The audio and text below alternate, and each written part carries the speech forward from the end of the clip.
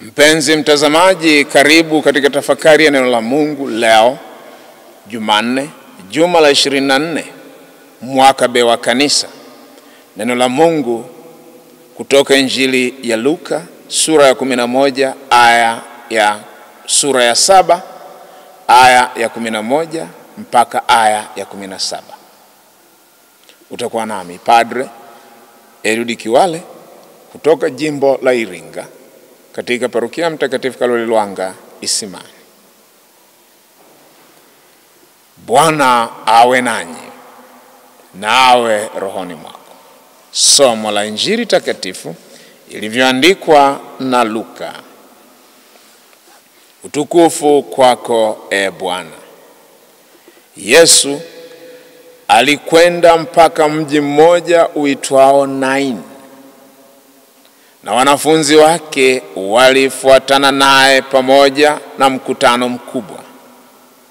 Na alipokaribia lango la mji, hapo palikuwa na maiti anachukuliwa nje, ni mwana pekee wa mamaye ambaye ni mjane, na watu wa mjini, mjini wengi walikuwa pamoja naye.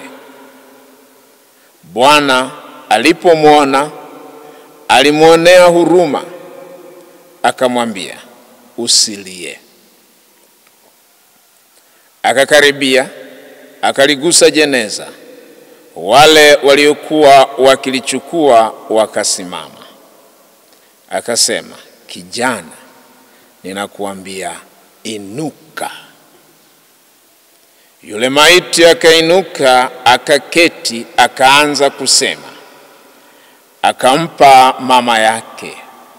Hofu ikawashika wote, wakamtukuza Mungu wakisema, nabii mkuu ametokea kwetu, na Mungu amewaangalia watu wake. Habari hii yake ikaenea katika Uyahudi wote na katika nchi zote za kando kando.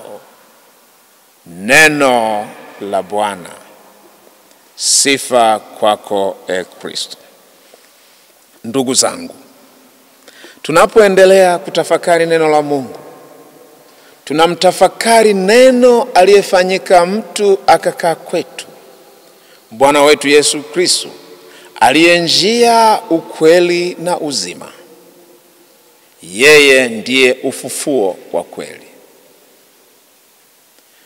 Anadhihirisha kwamba yeye ndiyo chemchemi ya ufufuko na yeye ndiyo chemchemi ya uhai katika binti huyu wa Naini.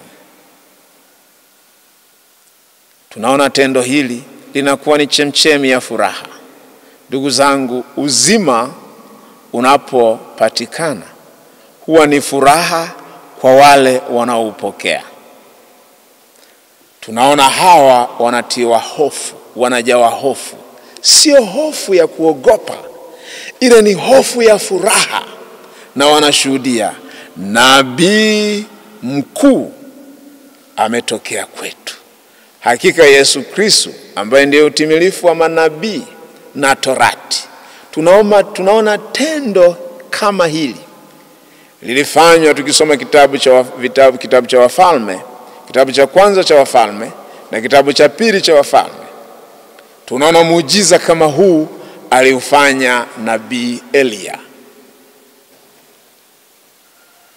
yeye akiwa ndio utimilifu wa manabii anaendeleza kazi ile ile. Ndiye aliyetuambia sikuja kuitangua Torati bali kuitimiliza. Anaitimiliza Torati kwa kumfufua binti huyu, na watu wanamshuhudia kwamba yeye ni nabii mkuu na ametokea kwetu. Yesu Kristu ni nabii mkuu ambaye ametokea kwetu sisi leo pia kwa njia ya nafsi za wachungaji wake. Hatuna budi kumsikiliza, na Mungu Baba alijifunua alipobatizwa mtoni Yordani akisema, huyu ni mwanangu mpendwa ninayependezwa naye. na siku alipong'ara mlimani, hali akionekana akiwa na manabii Eliya na Musa, akiwa na wanafunzi wake watatu mashahidi. Tunaona sauti kutoka mbinguni ilisikika, huyu ni mwanangu mpendwa sana, ninayependezwa naye, msikieni yeye. Na ndiye huyu tunayealikwa leo kumsikia, anayeleta uhai, anayefufua, nasi anatufufua kutoka katika kifo, mauti ya dhambi. Kwa njia ya sakramenti ya ubatizo tunashiriki kifo na ufufuko wa Bwana wetu Yesu Kristo, na hivi tunafufuliwa na tunapata na tukutoa mwili wa utukufu, na hivi huwa ni furaha, ni shangwe mmoja anapobatizwa, anapoingia katika jamaa ya wabatizwa, katika taifa teule, taifa la Israeli la Agano Jipya, ndilo jamaa ya wabatizwa, familia ya Mungu inayotembea na kusafiri kuelekea katika uzima wa milele. Ndugu zangu, tunaambiwa habari hii ilienea katika Uyahudi wote, katika nchi zote za kando kando. Leo habari hii ya ubatizo, habari hii ya ufufuko, habari hii ya ukombozi imeenea mahali pote, na Mungu anatukuzwa mahali pote na wote wenye akili na utashi. Mungu anatuangalia sisi watu wake. Mungu anatupenda. Mungu ametuinua hali akituondoa katika majonzi, anatuambia tusilie. Ndugu zangu, si wakati wa kuhuzunika sasa, ni wakati wa kufurahi, kwani mkombozi yunasi, Bwana wetu Yesu Kristo, na ametukomboa, anatugusa sisi tulio katika mauti ya dhambi. Anatutaka tuache dhambi tuweze kuingia katika uzima wa milele kwa kutenda yaliyo mema na kuendelea kumtangaza tukimvaa yeye mwenyewe, kwani kwa ubatizo wetu tunafanyika makuhani, wafalme na manabii katika ulimwengu huu, na hatimaye baadaye tuweze kufikia uzima wa milele, kushiriki ufufuko wake Bwana wetu Yesu Kristo ambao tunautumainia katika maadhimisho yetu ya kila siku. Tumsifu Yesu Kristo.